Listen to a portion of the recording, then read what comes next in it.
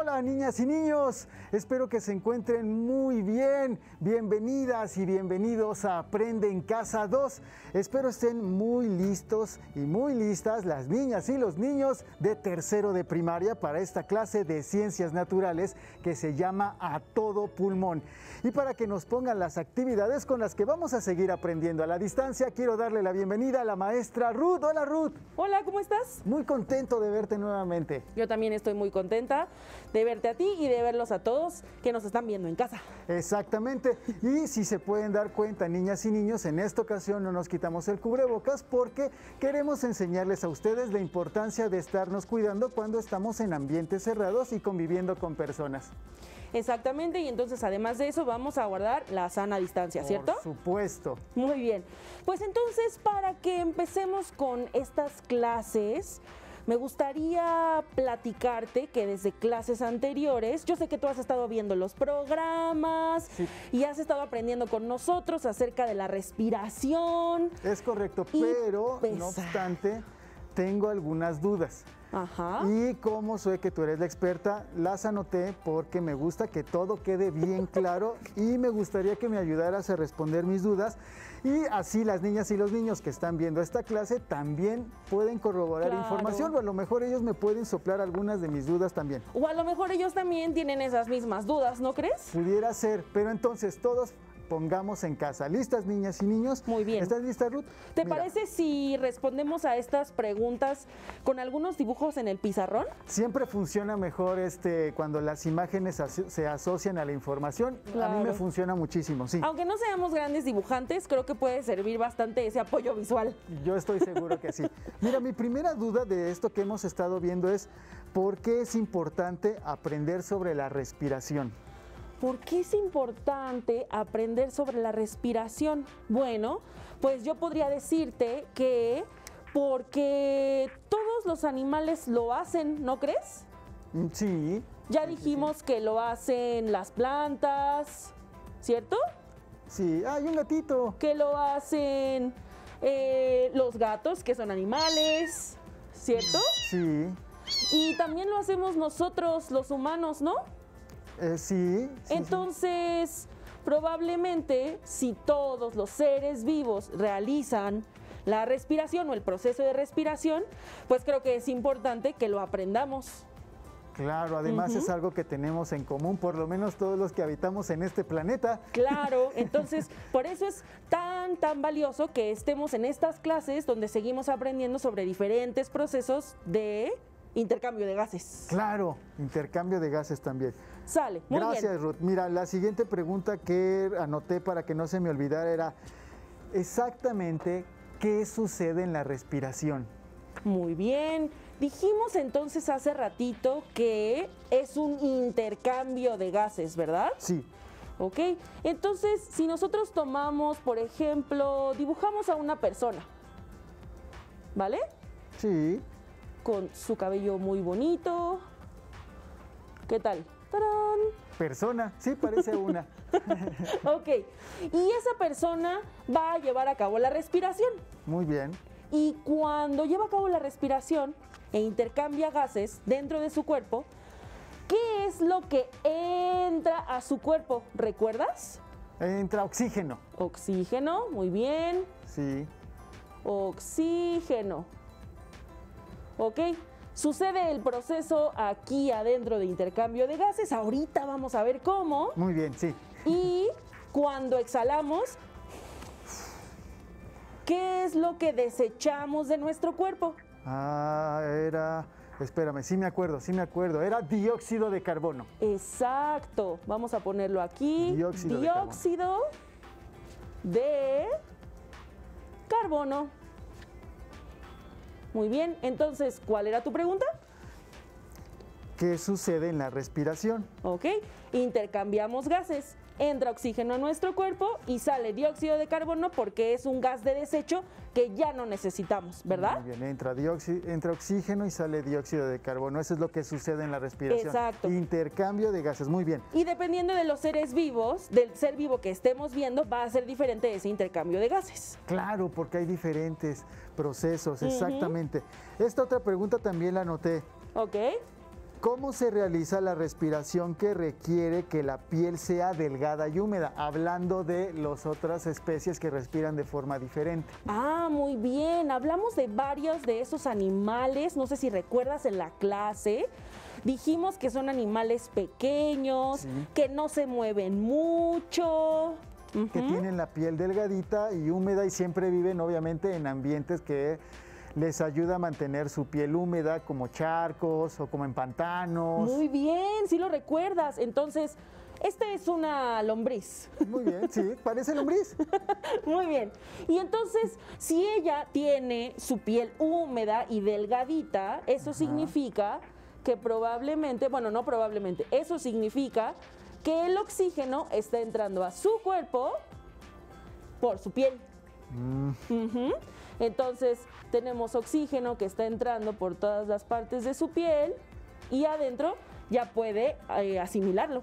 Hace todo este proceso de intercambio de gases. Exacto. Ahora recuerden, no puede entrar tanto oxígeno a su cuerpo con este proceso y por eso requiere no moverse tanto y no gastar tanta, Tanta energía. energía, claro, sí. A menor movimiento, este, menos energía necesita para hacer el proceso de intercambio de gases. Exacto. Y cualquier otra, cualquier otro movimiento que necesite energía.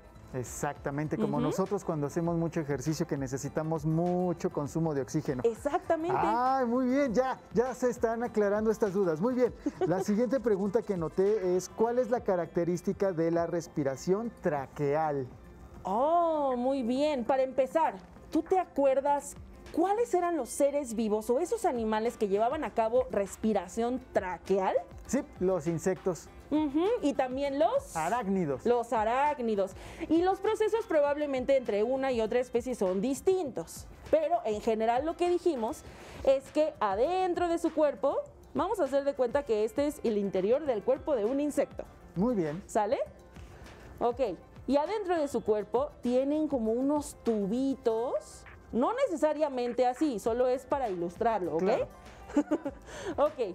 Que se llaman tráqueas. Y estos tubitos están conectados a la parte externa de su cuerpo. ¿Ya viste estos circulitos que estoy haciendo? Sí, sí, sí, sí. Que tenían un nombre muy especial que no estaba muy fácil que digamos. ¿Tú recuerdas cómo se llamaban? Me acuerdo que era algo como espiru... Ajá. Espirales, no. Espiráculos. Espiráculos, lo voy a anotar para que no se me olvide. Espiráculos, Y porque es un dato entonces- importante. El oxígeno entraba por esos espiráculos, que son esos pequeños orificios, y entraban entonces al cuerpo del insecto o del arácnido hasta las tráqueas, que son estos tubitos de aquí, y después sucedía algo más en otros tubitos más pequeñitos, ¿lo recuerdas? Haces- Y esos tubitos más pequeñitos eran los que llevaban el oxígeno a todo el cuerpo del insecto. Ahí sucedía el intercambio de... Bien. Exacto. ¿Ya lo recordaste? Ya, ya me acuerdo. Muy bien. ¿Tenemos bien. alguna otra pregunta? Sí, e- este, la última. ¿Cómo es la respiración en organismos que viven en el agua como los peces? Ah, muy bien. Ok, entonces podemos dibujar un pez. Sí, sería ok. muy bonito. Vamos a dibujar un pez muy sencillo, como Sí, muy sencillo. para ilustrar. Nosotros con mucha imaginación podemos ponerle todos los detalles, Ruth. Muy bien, muy bien, muy bien. Ok, entonces digamos que estas son como su cola y aquí está el pez. Dijimos que su boca está al frente de su cuerpo. Y a un lado de su boca, digámoslo así, tenían unas pequeñas hendiduras que se llamaban Branquias. branquias. Y normalmente en los peces no podemos ver estas branquias porque recuerda que están tapadas por el opérculo. Entonces, realmente es muy probable que cuando tú veas un pez no veas las branquias, sino que solo veas que cada vez que abren la boca se abre el opérculo. Exacto. Ah, Muy bien. ¿Me estoy contestando a tu pregunta? Sí, sí, sí, sí. Recordemos que las branquias son las que van a filtrar el oxígeno Ah, en el, en- ahí justo donde están las branquias y entonces de esa manera la sangre es la que va a llevar el oxígeno al resto del cuerpo del pez. Ah, entonces, a ver, si me acuerdo, entraba agua por su boquita y en las branquias es donde sucede todo el proceso para hacer este intercambio. Exacto, ahí es donde se filtra el oxígeno, ahí queda. Recuerden el experimento que hicimos del café, donde ahí quedaba atrapado el café que era como el oxígeno. Y entonces ese oxígeno, los vasos sanguíneos eran los que lo llevaban al resto del cuerpo del pez. Ah, ya me acuerdo, sí, muy bien. Esas son todas las, dudas que tenía Ruth, las que escribí. Oye, pues yo creo que con esto también ya hicimos un súper repaso para todas y todos en casa, ¿no crees? Yo espero que sí lo hayan visto también y hayan puesto mucha atención porque esta información es muy útil para nosotros. Muy bien, pero entonces ahora, ya hablamos de los arácnidos, los insectos, em, las lombrices, los erizos de mar. Incluso hablamos de los corales que llevan a cabo otro proceso de respiración. ¿Cuáles animales nos faltan? Eh, pues bueno, nos hacen falta animales que sean como más terrestres, como a lo mejor un gato que dibujaste ahorita, me quedé pensando en el gato, también en animales eh, como aves que están volando también. Exacto. Y, pues no sé, también pensé cómo le hará una serpiente para poder respirar. Creo que esas especies nos hacen falta como revisar. Muy bien, y además, ¿ya revisamos cómo respiramos nosotros los seres humanos? Ah, claro, también somos parte de este planeta, también somos una especie. Muy bien. Entonces también es muy importante que sepamos cómo respiran todos esos animales, nosotros incluidos, que no es ni por la piel, ni por branquias, ni por tráqueas, ¿cierto? Exactamente. Muy bien, entonces, ¿te parece si vemos cuál es la respiración de la que vamos a hablar hoy? A ver, me encantaría. Ok, vamos a verlo en pantalla para que podamos ver la definición mucho más fácilmente para entenderla. Esta respiración de la que vamos a hablar es la respiración pulmonar, donde el intercambio de gases ocurre en los, pulmones. ¿Tú tienes pulmones? Por supuesto. Yo también y también hay muchos otros animales que tienen pulmones. ¿Verdad? Eh, sí, exactamente los gatitos, las aves. ¿Qué te parece si vemos en pantalla también algunas especies de animales que tienen pulmones? Me encantaría para que nos quede claro a todos los que estamos tomando esta clase. ¿Listas, niños y niños? Niñas y niños. ¿Quiénes realizan este tipo de respiración? Pues los animales vertebrados que pueden estar en la tierra, que son terrestres, o también los animales marinos como por ejemplo los cetáceos, ahí podemos ver una ballena, también puede haber un delfín, por ejemplo. Mamíferos como el mono o reptiles como la serpiente o las tortugas o diferentes tipos de aves porque todas las aves también tienen pulmones. Ah, muy bien. Estos eran los animales que nos faltaban, ¿estás de acuerdo? Sí, bastantes especies, ¿eh? Exacto. Entonces, como podrás imaginarte, también vamos a conocer un poco más de todas esas especies a lo largo de estas clases. Muy bien. Pero lo primero es entender cómo funcionan esos pulmones, ¿verdad? Por supuesto. Y qué mejor demostración que nuestro cuerpo humano. ¿Cierto? Cierto. Muy bien. Entonces, ¿qué te parece si tomas mi lugar? Ah, Porque vamos a hacer una actividad, ¿vale? Muy bien. Ok. De este lado, si te puedes dar cuenta, tenemos a el sistema respiratorio del el ser humano. ¿Ya lo viste? Sí, aquí está. Ok. Y también si te das cuenta, en esa ilustración vienen varias partes de nuestro cuerpo que no habíamos visto antes. ¿Verdad? Exactamente. Y también a un lado de esa ilustración tenemos varias palabras. Tal vez algunas de esas palabras para ti ya sean conocidas. Entonces, ¿qué te parece si me ayudas a identificar a qué parte del cuerpo pertenecen cada, una de esos, cada uno de esos nombres? Muy bien, voy a hacer lo mejor posible. No te preocupes si no podemos identificar todas, ¿ok? Muy bien. Con que nos ayudes a identificar algunas, yo creo que va a ser más que suficiente y después podemos irlo explicando. ¿Te parece bien? Me parece perfecto. Además es un excelente ejemplo para las niñas y los niños de que se den cuenta que siempre podemos estar aprendiendo cosas. Cuando no sabemos, es bueno preguntarle a alguien que sí sabe, Muy como bien. la maestra. Entonces comienzo con el más fácil, que es la nariz. Muy bien, ¿dónde está la nariz? Aquí está la nariz. Perfecto. Nariz. Muy bien, ya tenemos uno. Tenemos uno. Después. La siguiente, obviamente, la voy a usar porque esta sí me la sé también, que son los pulmones. Ah, muy bien. Aquí están los, Sí, ándale, ahí está súper bien para que no tapemos el dibujo. los pulmones. Perfecto.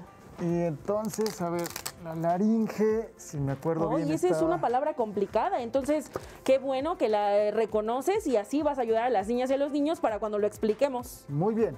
¿Ok? Y está, me lo voy a poner por aquí porque creo que está más cerca. Muy bien, Muy bien. Está acá. Ok, perfecto. Estoy en lo correcto, ¿verdad? Y eh, entonces, bueno, aprovechando que tengo aquí a estos amigos, que ahorita es muy importante cuidarlos, Muy bien. Los alveolos. que están aquí en grande. Ok, perfecto. Y el resto me podría costar un poquito de trabajo. No te preocupes. Con esos podemos empezar. ¿Te parece bien? Me parece perfecto. Entonces, ahora vamos a ir explicando parte por parte y si no habíamos puesto algún nombre o si hay que cambiarlo de lugar, que creo que no porque lo ubicamos bastante bien, tú me vas ayudando a ubicar los nombres que nos falten. ¿Te parece bien? Me parece perfecto. Ok, yo aquí tengo unas tarjetas donde tengo qué función tiene cada una de esas partes de nuestro sistema respiratorio. Porque es importante tener bien, bien clara esa información y a veces estos apoyos son importantes. ¿Sale? Muy bien, entonces vamos a empezar por la nariz. ¿Podrías señalarme la nariz? Muy bien. La nariz es el lugar por donde entra el aire que respiras, ¿cierto? Cierto. ¿ok? Y ahí en la nariz es donde se filtra, se entibia el aire y también se humedece. ¿Sabías eso?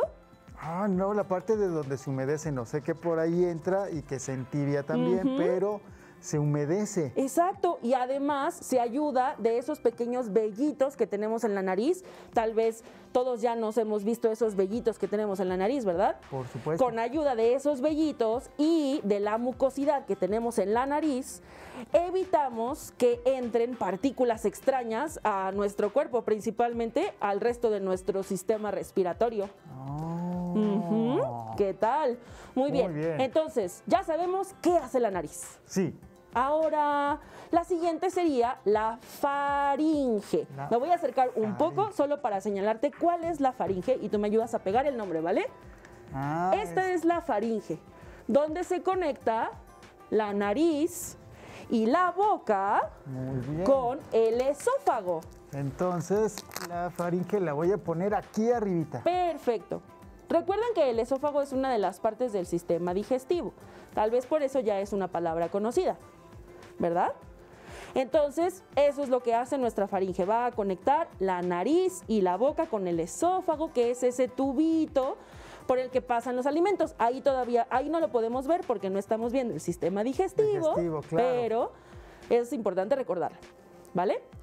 Muy bien, después de la faringe, ¿cuál tenemos? La laringe. La laringe que se encuentra en la parte de enfrente, o sea, como enfrente de la faringe, y sirve para proteger la entrada de las vías respiratorias y también evita que entren objetos extraños a la tráquea. ¿Cuál será entonces la tráquea? Exacto. Ese tubito que está de color azul en nuestra ilustración es la tráquea. Muy bien. Listo. Muy bien. Entonces lo voy a poner por aquí. Muy bien. Ahora, algo más que es importante rescatar, antes de hablar de la tráquea, algo que es importante rescatar acerca de la laringe es que ahí se encuentran tus cuerdas vocales. ¡Ay, qué Exacto. información tan buena! Ahora que estás cantando y también cuando hablas, si pones tu mano o tus dedos aquí arriba, puedes sentir cómo vibra esa parte de tu cuerpo cada vez que hablas. Hola Mira, a todos, las niñas y niños. Ay, y lo apreté de más, por eso se me ve así. Hola a todas las niñas y niños. Sí, aquí se siente. Exacto, ustedes también pueden sentirse esta parte de su cuerpo. Ahí es donde está la laringe y es donde se encuentran sus cuerdas vocales. Pero no lo aprieten mucho porque si no se les va a oír la voz como hace rato a mí. Un poco extraña, ¿verdad? Hola, niñas y niños. Sí. Muy bien. Muy bien, ahí entonces es donde tenemos esas cuerdas que nos permiten hablar. Muy bien. Ok, ahora, ¿con cuál seguimos? Con la tráquea. Ya La pusimos el nombre de la tráquea, la está señalando Eric. Y entonces podemos decir que ese es el tubo que lleva el aire que inhalamos y lo lleva hacia los pulmones, ¿verdad? Exactamente. Que está- Antes, exacto. Antes de pasar a los pulmones, eh, se encarga de filtrar el aire que respiramos con ayuda de unos cilios, que son como unos, como unos pelitos, como unos vellitos que tenemos para que entonces no pasen, no pase más que lo que necesitamos que pase a los pulmones. Ah, muy bien. Ujú. Muy bien. Ahora, ¿te das cuenta de que esa tráquea tiene como una forma de Y al revés? Sí. ¿Ok? Y esas divisiones que ves ahí, exacto, puedes señalarlas para que la ve- lo vean los niños y las niñas. ¿Sabes cómo se llaman? ¿Estos serán los bronquios? Esos son los bronquios, muy bien. ¿Nos puedes ayudar a poner el nombre de los bronquios?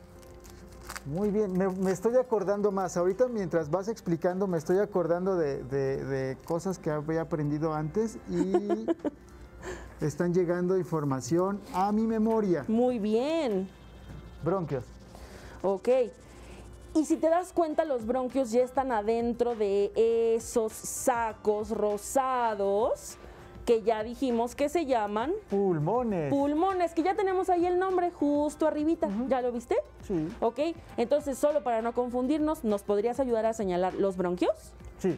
Bronquios. y los pulmones? Pulmones. Muy bien, si te das cuenta los pulmones son bastante grandes, tan grandes que abarcan casi todo el espacio de nuestra caja torácica. Recuerden que la caja torácica es esa que vimos cuando revisamos el sistema óseo.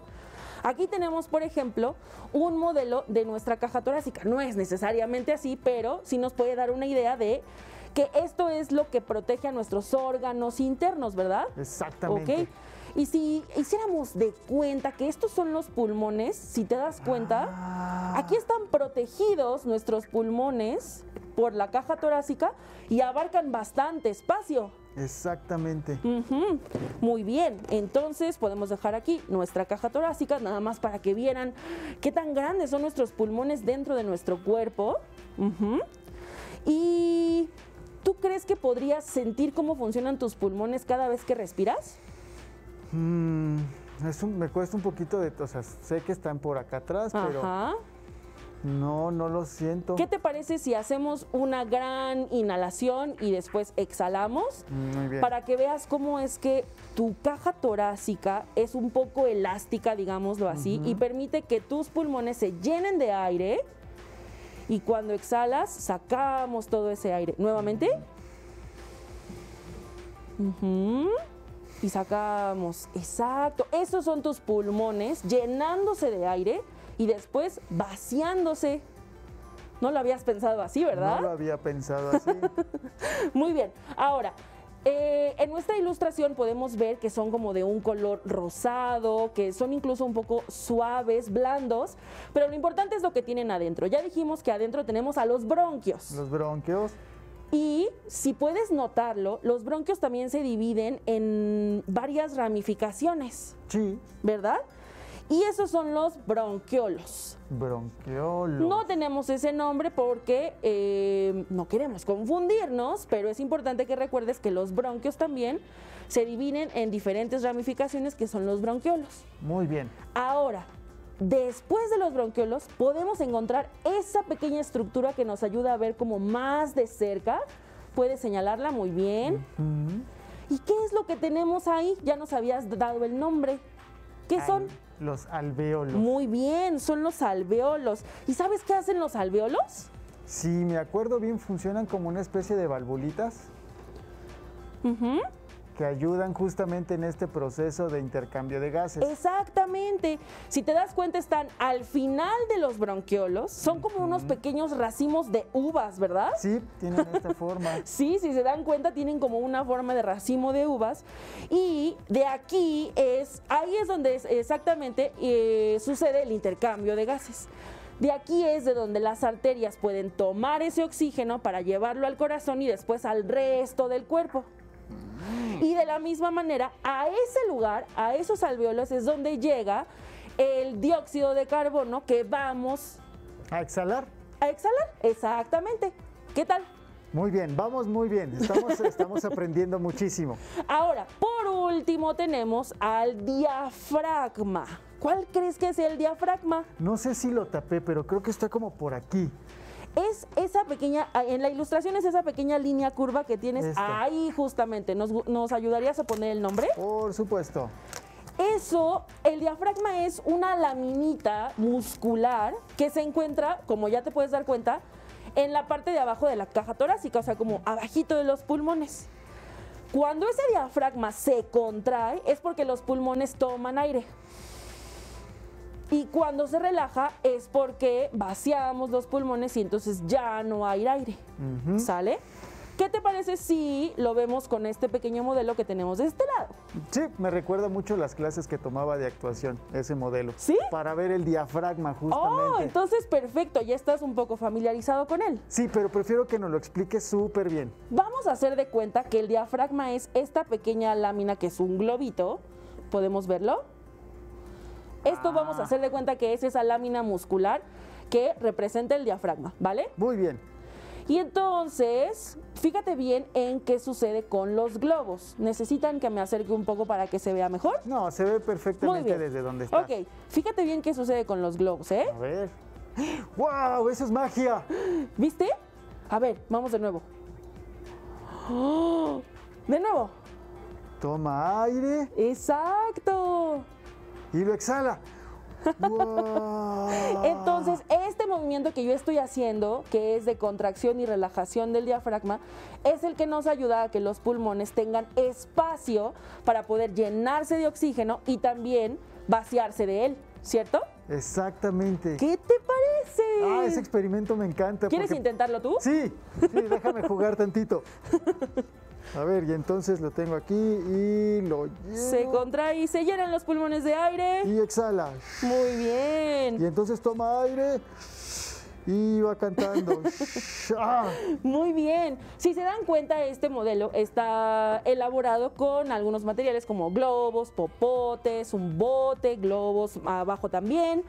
Y ustedes también podrían hacerlo en casa, ¿cierto? Exactamente, Ruth. No, qué bonita tu clase. ¿Quieres despedirte de las niñas y los niños que nos ven? Pues a mí solo me gustaría que pudiéramos revisar en diferentes fuentes o preguntarle a sus maestras o sus maestros si es que tienen alguna duda acerca de estas diferentes partes del sistema respiratorio, porque vamos a seguir hablando de otros animales que también realizan este tipo de respiración. Muchísimas gracias, Ruth. Muchísimas si te es gracias. posible, consulta otros libros y comenta el tema de hoy con tu familia. Si tienes la fortuna de hablar una lengua indígena, aprovecha también este momento para practicarla. Por hoy hemos terminado con el tema a todo pulmón de la asignatura de Ciencias Naturales de tercer grado. Espero que lo hayas disfrutado tanto como nosotros. No se muevan porque continuamos con lengua materna. Pero antes, Ruth, vamos a ver la siguiente cápsula para movernos. ¿Están listos? ¿Tú Estamos lista? listos. Vamos a llenar nuestros pulmones Muy de bien, aire para poder comenzar con las actividades.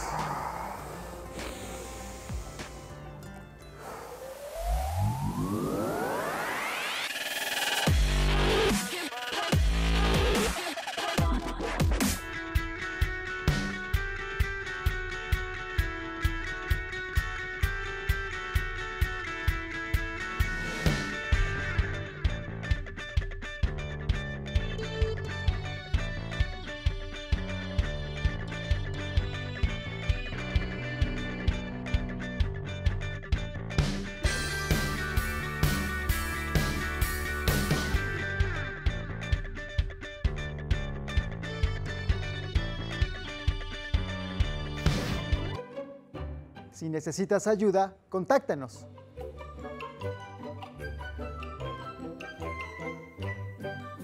Para solicitar apoyo pedagógico, comunícate con maestras y maestros de lunes a viernes de 8 a 20 horas al teléfono 55 41 72 04 13. 100 líneas. También puedes encontrar los libros de texto en la página conalitech.cep.gov.mx. Si quieres volver a ver los programas de Aprende en Casa 2, los puedes encontrar en la siguiente liga, aprendeencasa.cep.gov.mx.